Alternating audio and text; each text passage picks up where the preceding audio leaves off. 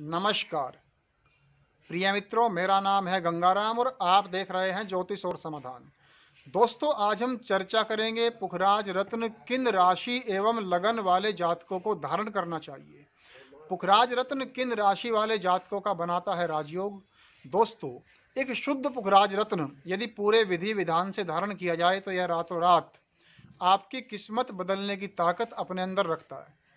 पूरी जानकारी आप तक पहुंचाऊँगा, लेकिन इससे पहले मैं बात को आगे बढ़ाऊं, मैं आपको बता दूँ। यदि आप ज्योतिष के द्वारा अपनी समस्त प्रकार की समस्याओं का समाधान चाहते हैं या बहुत अच्छी श्रेणी के गवर्नमेंट लैब सर्टिफाइड राशि रत्न खरीदना चाहते हैं तो आप हमसे संपर्क कर सकते हैं। हमारे यहाँ से सभी प्रकार के रत्नों की अंगूठियाँ बनाकर सिद्ध पूजा पाठ करके देश विदेश में भेजी जाती है तो चलिए विषय में आगे बढ़ते हैं। पहली राशि है मेष राशि। मेष राशि से बृहस्पति पहले और नौवे घर के स्वामी होते हैं। दोस्तों, उच्च शिक्षा प्राप्ति के लिए, अच्छी नौकरी की प्राप्ति के लिए, व्यापार में उन्नति के लिए और घर की सुख शांति के लिए आपको पुखराज रत्न पहनना चाहिए।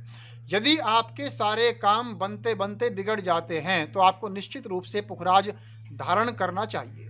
दूसरी राशि है कर्क राशि। कर्क राशि से बृहस्पति छठे और नौवे घर के स्वामी होते हैं। भाग्य स्थान के स्वामी होने से यह आपकी किस्मत को चमकाएगा और शुद्ध पुखराज पहनने से बहुत जल्दी, बहुत कम टाइम में आप तरक्की कर पाएँगे।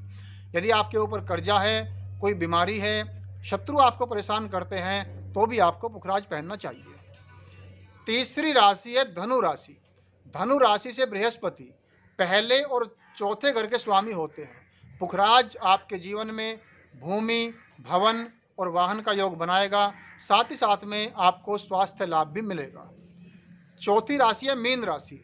पुखराज रत्न मीन राशि वाले जातकों को बहुत तेज़ी से चमकाता है क्योंकि बृहस्पति आपके कर्म स्थान के स्वामी है, दसवें घर के स्वामी है।